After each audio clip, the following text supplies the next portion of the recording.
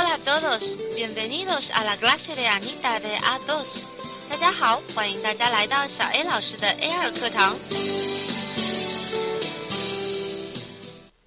话说课程进行到现在，相信大家经常都会听到小艾老师这么说：大家现在所经历过的一切，小艾老师我都曾经有亲身经历过；大家现在所遇到过的学习障碍，小艾老师我也都曾经有非常烦恼过。那为什么小艾老师经常都会拿自己的经历来告诉大家呢？因为我知道亲身经历永远都是更具有说服力的。Para cambiar lo que está mal es mejor un buen ejemplo que una buena opinión。我知道，为了要改变糟糕的事情，一个好的表率永远都会好过一个好的意见。在学习的道路上，小艾老师也永远都不会对着大家指手画脚。我只想以我自己个人的经历来积极正面的影响你们，无论是西语的学习，还是对待人生的态度，大家都一定要记住，我能够做到的，在听课的每一个你们也一定都可以，甚至比我做的更为出色哦。小艾老师，我深深的热爱着西班牙语这门语言，所以也希望能够将对于这门语言的热情传递给你们每一个人，也希望你们都能够爱上这门语言，学习自然变得快乐起来了，不是吗？再来跟我念一次吧。Para cambiar lo que está mal es mejor un buen ejemplo que una buena opinión。送给你们我们今天的每课一句，让我们开始今天的课程吧。嗯，话说这每课一句当中，小艾老师已经说了一个好的表率是很重要的，对不对？那么小艾老师来做表率了。各位同学们，陈述时、简单过去时、陈述时、过去未完成时，小艾老师的变位背的都是杠杠的，请各位任意点。我相信我应该都能在一秒钟之内给到大家反馈。没错，就是一秒钟。这也是各位同学你们要对于动词变位努力的终极目标。也就是说，当你以后啊遇到一个动词，你能够在一秒钟滴答的时间当中反映出这个动词的变位形式，那我可以告诉你，西班牙语你绝对流利。起来了，没错，动词变位乃西班牙语之根本啊！我们在上节课当中呢，学习到了这个崭新的时态，叫做陈述式的过去未完成时。那你回家有没有好好复习呢？有没有好好朗读呢？有没有好好背诵呢？跟着小艾老师一起来复习和巩固一下它吧。小艾老师说，这个时态我是需要大家能够尽快记下来，因为它的不规则形式够少啊，而且它的规则形式又够简单呀，只要记住一个人称，其余人称就像唱歌一样就能唱出来了。那赶紧跟我一起来了解一下吧。总共有两组。形式，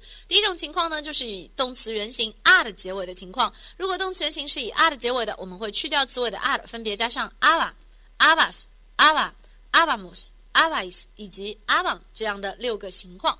那如果是以 ad e 的结尾的呢，同样的道理，我们会去掉词尾的 ad e，然后分别加上 ia、ias、ia、iamos、iais、iam。那在上节课我们学习的时候呢，小艾老师没有非常隆重的强调过。那在这里呢，我再隆重的强调一遍，请各位同学一定要注意的是，ad 和 e 的结尾啊，他们在陈述时过未完进行变化的时候呢，去掉 ad 和 e 的之后所加的其他的词尾，全部都要记得加重音符号，是每一个人称都有的哦，ia、ias、ia、iamos、iais、iam，而且重音的位置都一样，都在第一个元音一上面，是不是很好记呢？千万不要忘记了，书写的时候可不要漏读起来的时候也不要忘记，一定要重读哦。你都记住了吗？那说完了这个完全规则的形式，我们再来回顾一下完全不规则的吧。小艾老师说这个时态相对来说乖巧很多，因为它完全规则的说完了之后，完全不规则的就很少了，也就只剩下三个动词，它们分别是 said。Ed 以及 bed，在上节课的文章当中呢，我们就看到了 said 的变化形式。如果说所有人称你不知道，是否对 Ada 还记忆犹新呢？那现在就跟着安妮达一起来把 said 的各个不规则的情况一起来念一遍吧。它叫做 Ada，Edas，Eda，Edamos，Edais，以及。era，你都记住了吗？翟老师说这个陈述式过完就是这点好，你只要知道它这个动词的一个人称，其余人称就能够侃侃而谈了。没错，这就是动词 said 的变位。那我们再来额外的学习一下崭新的内容了。动词 is 的陈述式过位完又应该怎么变呢？贾老师之前已经提了，说它是完全不规则变位，所以如果是根据规则啊，以 e 的结尾的去掉 e 的，应该叫什么？叫 e 呀，e 呀，e 呀，对不对？那怎么办？这个说起来太奇怪了，它可不能这么讲，它叫 i ba，。i bas，i ba，i vamos，i vais，以及 e v a n 啊，大家要注意一下，是变出了一个很奇怪的 b 这个浊辅音字母啊。那不管，反正人家就是不规则，不规则，那那那哪里还有原因啊？就记着照背就好了。接着最后一个人叫做 bed，中文意思是看见。那这个词呢，如果根据正常的规则是 ed 结尾的，对吧？应该去掉 ed 嘛，直接加词尾，那就变成什么 be 呀，be 呀，be 呀，是不是很难听啊？哎，这个说西语国家的人可能也意识到这个问题了，他们觉得这么读也挺难听的。所以呢，虽然啊，这个书上啊，很多书上都把 bed 的这个陈述式过位完列为不规则，但小艾老师说这种不规则完全就是我说一句话你们就能记住什么意思，就 bed 这个词在陈述时过位完，你不要把它 ed 都去掉。你就把那个 a 给它留着，然后再去加那个词尾，就变完全规则了。为什么？它叫北意呀，北意呀，北意呀，北意呀，mos 北意呀，is 北意呀，是不是？是不是小 A 老师说的？你只要把那个 a 给它留一留嘛，这也没有多不规则嘛。而且总共就这三个人，这个时态应该难不倒你了吧？好了，那废话不多说，我们赶紧去小练习当中再来把这个陈述时过完，多练几遍吧。没准儿今天下课之前你就把它记住了，也有可能哦。让我们一起来做个小练习吧。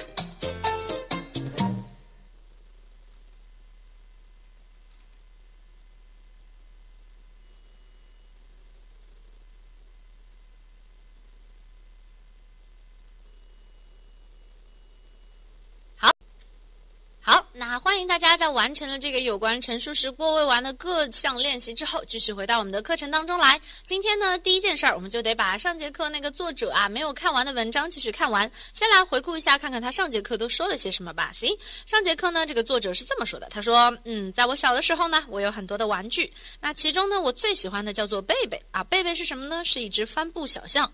贝贝是什么颜色的呢？是玫瑰色的。然后呢，它还有蓝色的斑点。它有一双非常大的耳朵。它动起来的时候，那个耳朵就会发出声音。这个作者呢就接着说了啊，这个我记得呢，我也经常会玩一个消防车，然后呢，这个消防车呢就像真的一样。这个消防车有一个红色的汽笛，这个汽笛响起来的时候啊，声音是非常大的。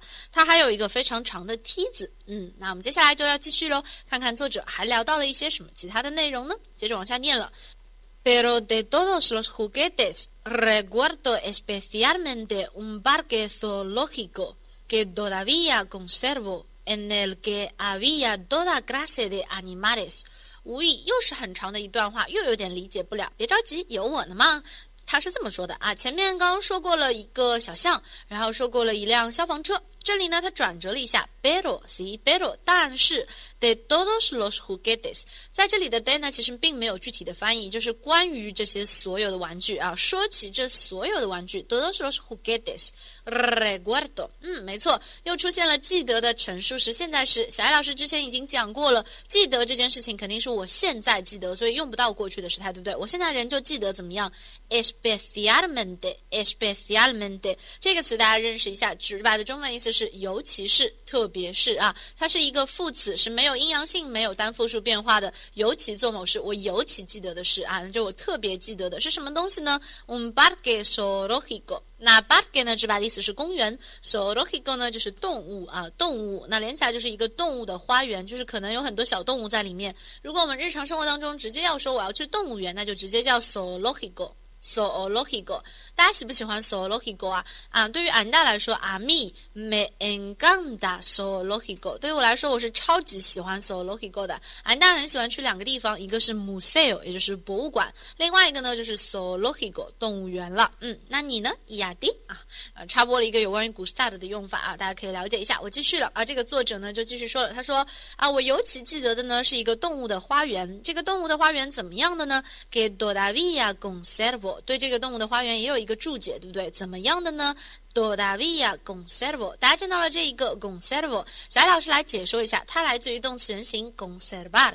conservar，直白的意思呢是保管、保存的意思。直白的中文意思是说，我到现在为止都保管着、保存着。todavía 仍旧还的意思，对不对？保管着、保存着，是不是现在仍旧保管、保存啊？不能用过去了，所以我们直接用到了陈述时现在时，就是我有着一个动物花园，怎么样的动物花园呢？是我一直保留到现在的动物花园。你能理解？好，那动物花园怎么样呢？En el que，这里的 en 呢就是在什么什么里面而？这个 el 呢就是代替前面的 zoológico，在这个动物花园里面有什么呢 Avia，它来自动词原形 haber，对不对？我们曾经在讲它的简单过去时变位的时候有提过哦，动词原形叫 haber。那在简单过去时虽然是不规则，但在陈述式过位完它就变得很规则了，乖乖的去掉 ed，加上 e 呀，变成了 había。在这个公园里面，就这个动物的公园里面有。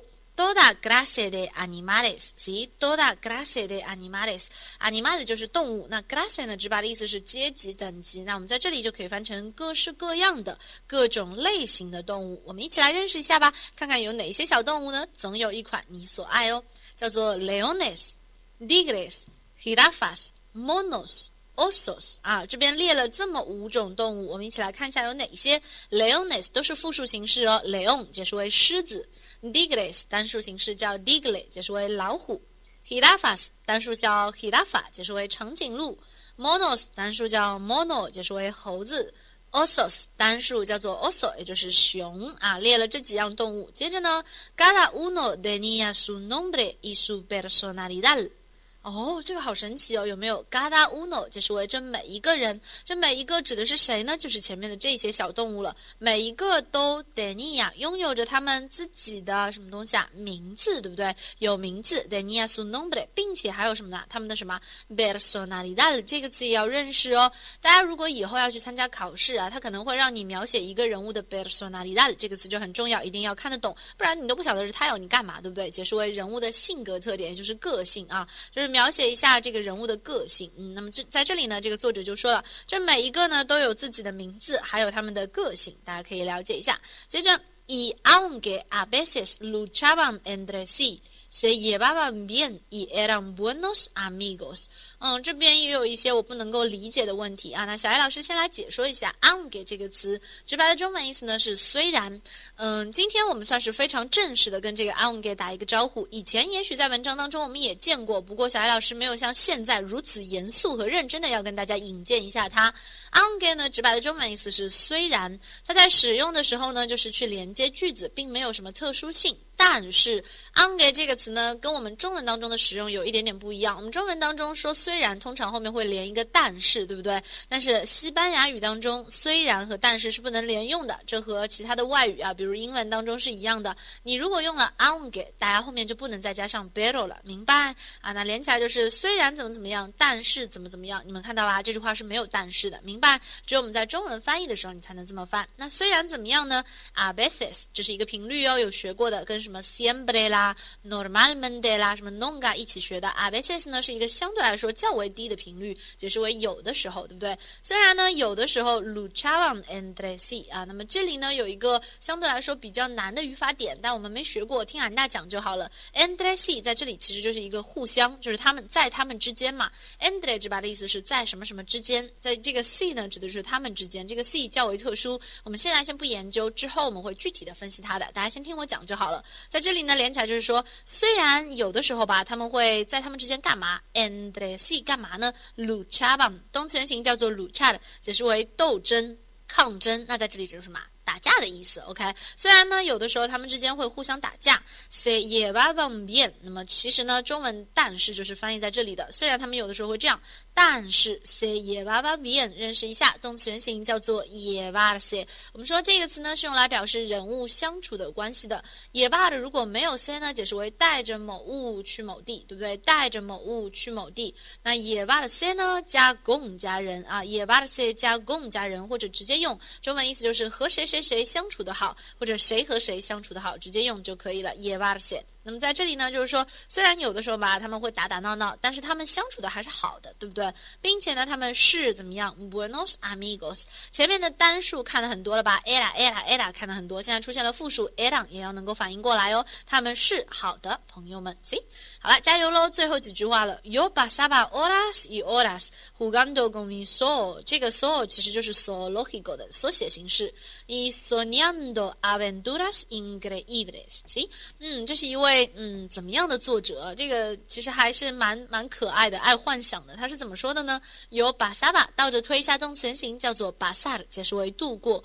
horas y horas，来，大家把这个词收归己用吧。嗯，horas 是小时，小时和小时，其实我们就可以说什么？我度过很多时间，对不对？玩耍很长时间，我会度过很多的小时。怎么度过的呢？是通过玩的方式去度过的。出现了 jugando，这可不是什么过未玩喽。Jugando 来自于动词原形，jugar 是玩的副动词形式，用来表示动作发生的方式。它现在呢说的是我度过时间，度过很多时间是怎么度过的呢？是通过玩的方式来度过的。是和什么东西玩呢？和我的动物园啊，就是和这一些小动物们玩，并且边玩边干嘛呢？soñando，认识一下，来自于动词原形 soñar。前面的那个左半段的文章，我们有一个叫 sonar，两个人很像啊，一个是 nar，一个是。亚的长得很像，就多一个小撇撇，但是意思就不一样了。左边的索纳的安娜说是发出声音、发出声响，对不对？这里的索尼亚的解释为做梦啊、梦想，那么也就是幻想着我会自己歪歪，对不对？我会自己梦啊，自己想想什么东西呢？Aventuras increíbles，Aventuras 解释为历险、冒险，increíbles 形容词解释为那些不可思议的冒险。那小艾老师把这一段话连起来给大家解释一下啊，他是这么说的啊，我们从那个 Gata uno de nia su nombre 开始啊，连起来就是每个小动物呢都有着它们自己的名字和性格特点，尽管有的时候啊他们会相互打架，嗯，但相处的很好，而且他们都是好朋友。我和我的动物园呢一起玩耍很长的时间，我都会自己想一想怎么样那些不可思议的冒险故事，明白？最后一句，Hoy ese sueño se ha hecho realidad。Soy veterinario y trabajo en un parque natural rodeado de animales. ¿Sí? 我们来看一下，oi 就是今天了。大家注意到，我们说前面的啊，前面的我们都是用这个什么过位完比较多，对不对？都是用来在描写过去的事情。oi 是什么？是今天。Ese sueño se ha hecho realidad。安大安大，今天难道不是应该用现在时吗？是今天呀，没错。但是如果我要表达今天已经怎么怎么样了呢？是不是在今天就对于今天来说，这个动作是已经做完了的？但今天是不是还没过去？那应该用什么时态？嗯，我听到了，就是应该用现在完成时。那大家看一下，它用到的是 crh，是不是现在完成时？没错吧？那么这边呢，大家也可以记住一下，这个固定的短语啊是 a f e r f e realidad，就是变成现实。Realidad 就是现实真相啊，那连起来就是变成现实。现在是什么东西变成现实了呢？今天就是时至今日啊，今时今日怎么样？那个梦想 sueño，我们前面有讲过那个 soñar 的是动词，对不对？现在这个 sueño 呢就是名词，连起来就是那个梦想，什么梦想？他是不是想自己歪歪那种各种各样不可思议的冒险，对不对？他说今天这个梦想已经变成了现实，所以我们使用了一个现在完成时，能理解了吧？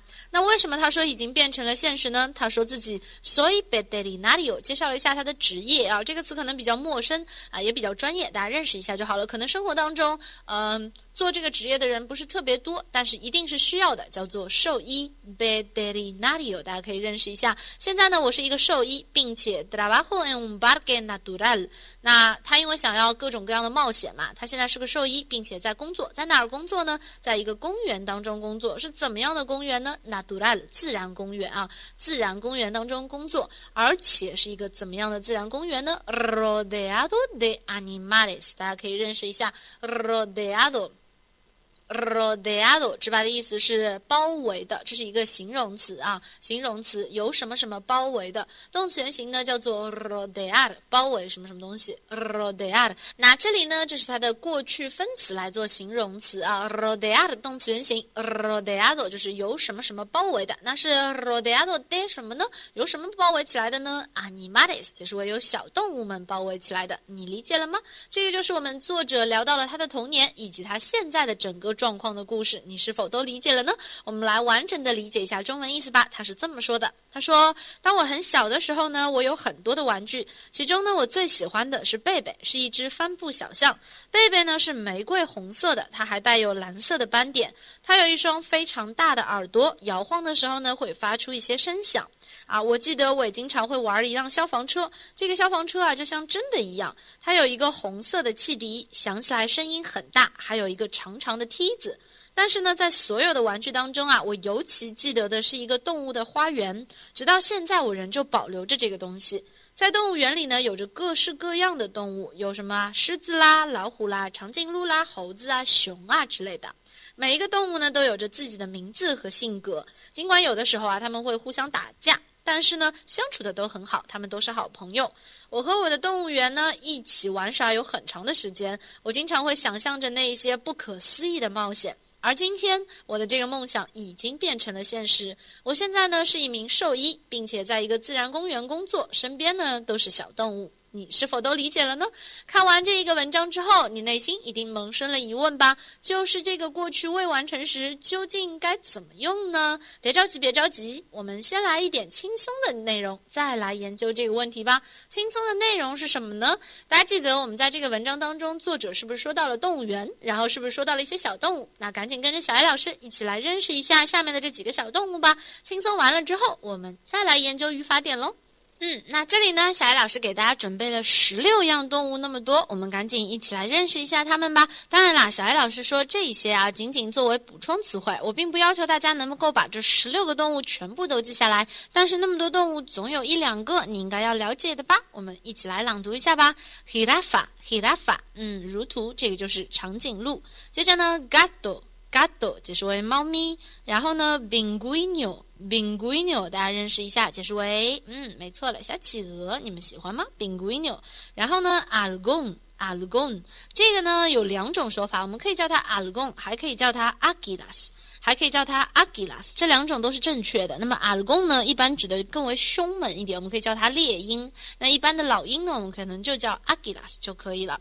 接着 elefante，elefante 解释为大象。然后呢，这个小动物刚刚在文章当中也出现过，对不对？叫做 oso，oso，也就是熊的意思啊。接着往下念，mono，mono，非常聪明的猴子。然后 foga，foga，解释为海豹。嗯，leon，leon，狮子。gogodrilo，哎，这个呢，我们经常会把它作为一个比较不好的什么鳄鱼的眼泪，有没有？gogodrilo 就是它了，鳄鱼。接着 i b o b o d a m 一波波达摩这个单词读起来很有感觉，有没有？一波，然后波达摩，这个波要重读哦，解释为河马。接着 berro，berro，嗯，你的家里是不是也有一个 berro 是你的好朋友呢？狗狗，对不对？接着 delfin，delfin，嗯，那 delfin 和狗狗一样也是非常聪明的，那当然 delfin 更为聪明啊，解释为海豚，对不对？海豚。接着 zebra。zebra，嗯，这个词大家认识一下，解释为斑马，对不对？看图能够知道哦，斑马 zebra。好，那接着呢，还剩下最后两个了，叫做 ganguro，ganguro，ganguro 直白的意思呢，就是图上的袋鼠，但其实这个单词啊比较的特殊，它还可以指一种职业。那大家猜猜看，跟袋鼠比较像的职业是什么呢？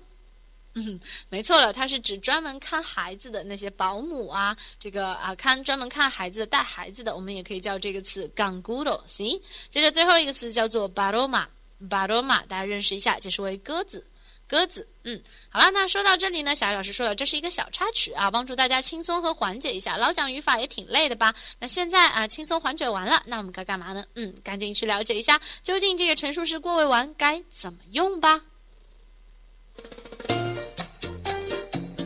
让我们一起来做个小练习吧。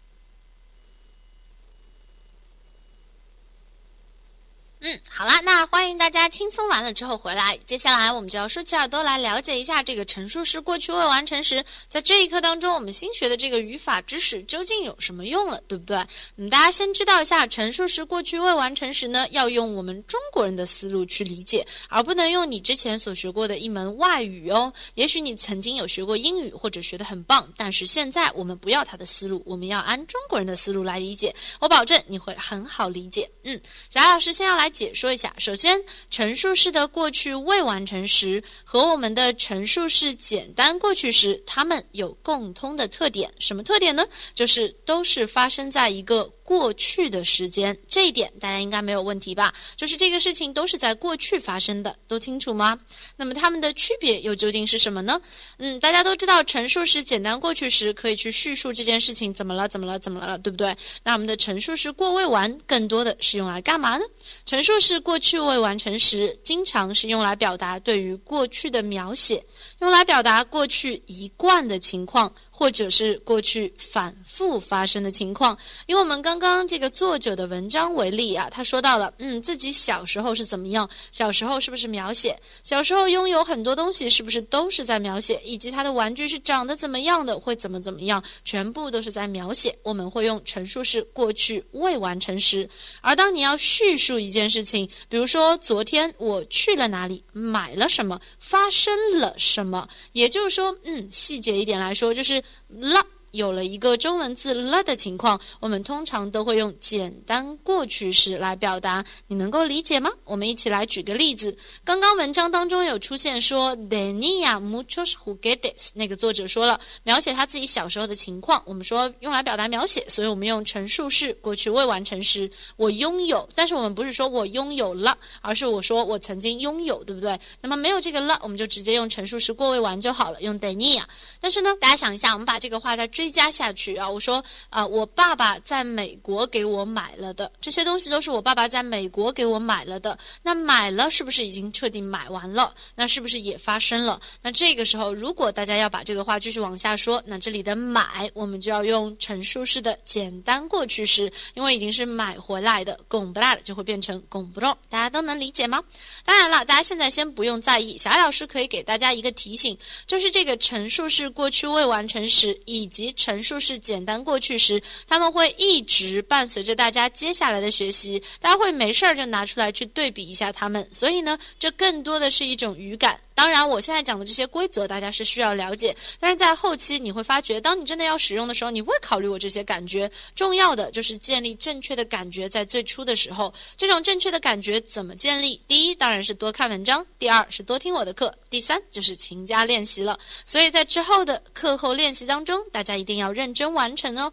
因为我们现在是第一次见到这个时态，所以我们就先了解这最基础的第一种情况。再来重复一遍，陈述式过去未完成时，通常。都是用来表达对于过去的描写啊，对于过去一贯的情况，就一直都是这个样子的。其实跟描写差不多意思，对不对？或者是过去反复发生的情况。而我们的简单过去时，则更侧重于去叙述一整件事件。我们可以再举一个例子，比如说我小时候一直都住在什么什么地方，这是不是我过去的描写？所以我们用比例呀。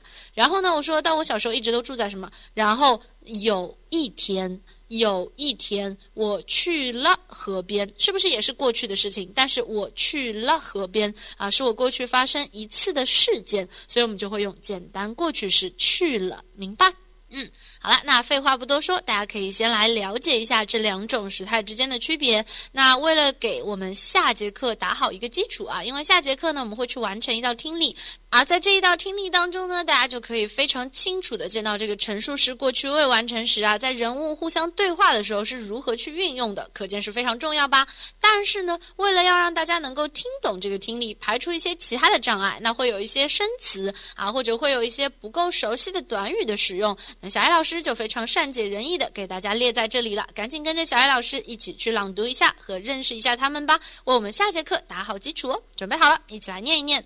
Todas las demás, todas las demás。大家听到这个短语呢，可能会觉得有点陌生，但如果我说 todos los demás，有没有一点小印象呢？没错啦，它们就是一个阴阳性的变化。其实直白的中文意思就是其他人，对不对？所有其他的人。那么 todas las demás 呢是一个阴性的形式，而我们平时说的 todos los demás 呢就是阳性的形式，其实没差啦。接着往下，acogedor，acogedora 形容词，直白的中文意思是热情好客的啊，这是一个非常好的啊。比如说你去别人家里，对方很友好，那么就可以说他是非常 acogedor，acogedora 是一个普通的形容词。接着 segunda branda。Segunda blanda，我们说 segunda 解释为第二，blanda 呢可以解释为楼层或者植物。但是啊，这一点比较特殊的就是在说西语的国家啊，那其实呢这个可能跟其他外语当中也有这个情况哦。如果我们说 segunda blanda，而并不是直接翻译为第二层，而是第三层呢？因为最底层呢有一个特殊的名字叫做 blanda baja，解释为底楼底层啊，blanda baja。所以呢我们就要逐步加一了，也就是说 segunda blanda。呢就要往上加一个一，所以呢，segunda blanda 就是第三层的意思哦，了解一下啦。接着往下，balcon。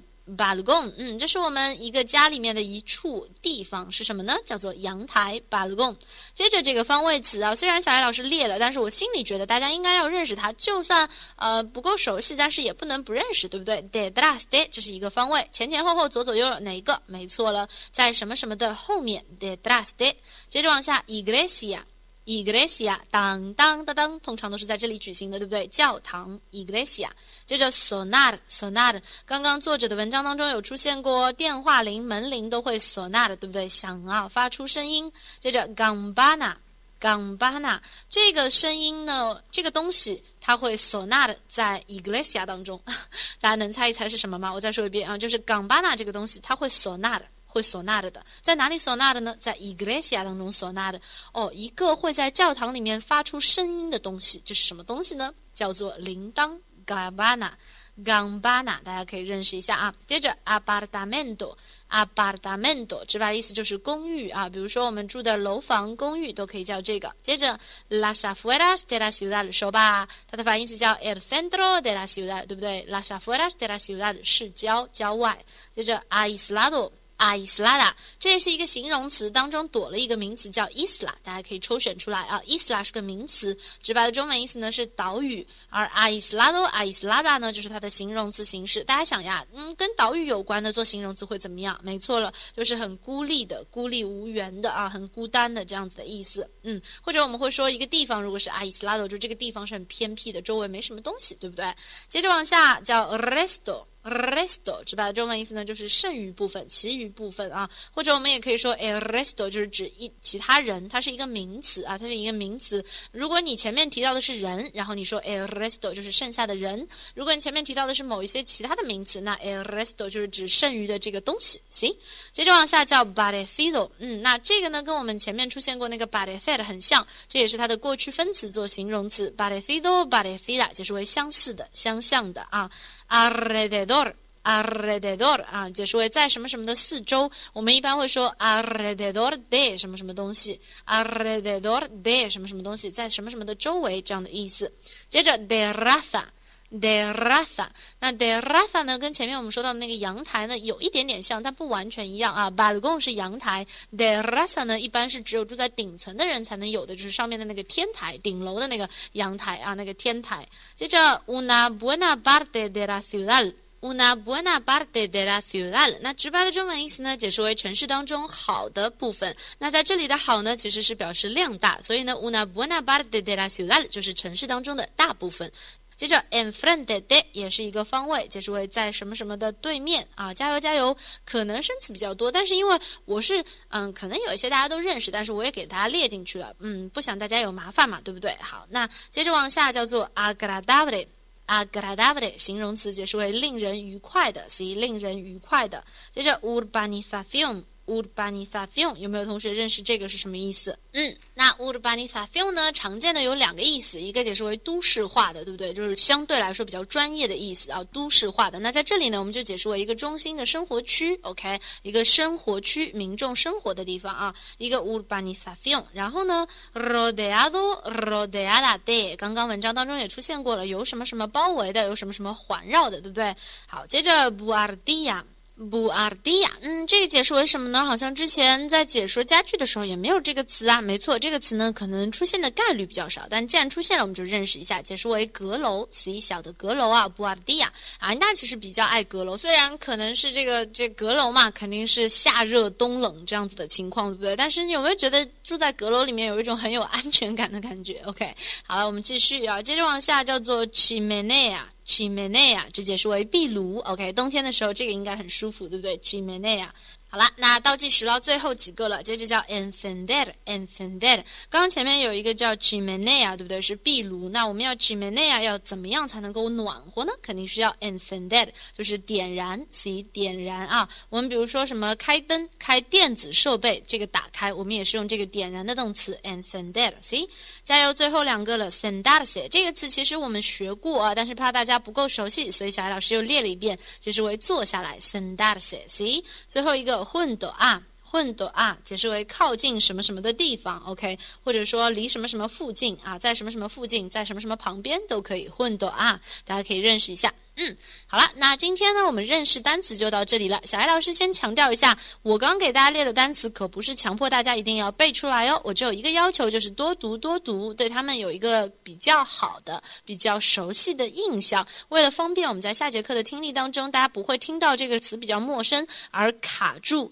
因为这些词其实并不是我希望大家能够去听的重点，因为我们要通过听力去了解这个陈述式过去未完成时嘛。但是为了怕大家有遇到不会的单词，然后瞬间就嗯，这是什么？就没有办法前进了，所以才列给大家。你们不用刻意的背，当然了，如果能够背下来也是最好的啊。最主要的是能够熟悉它们，来方便我们下节课完成听力。今天我们就先说到这里啦，嗯，去文化赏析等着我吧，我马上就来。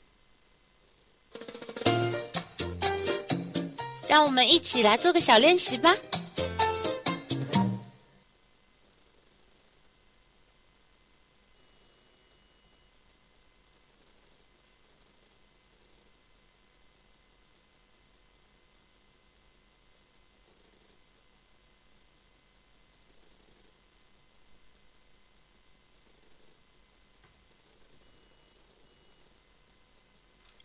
在今天我们的文化赏析正式开始以前啊，小艾老师要先来八卦的问大家一个问题，就是大家爱不爱吃东西呢？啊，是不是真正的吃货呢？那如果是的话，你又爱不爱下厨呢？会不会做饭呢？做饭是不是一定要点火呢？当然要，也也也不是啊，我可以做冷盘嘛。嗯，好，好像也对哈。那我再问问，做汤是不是一定要点火呢？